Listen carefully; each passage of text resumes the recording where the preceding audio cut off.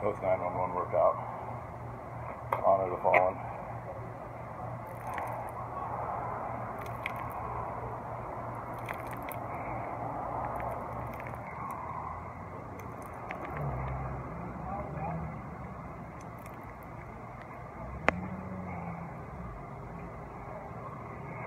It was a good one tonight.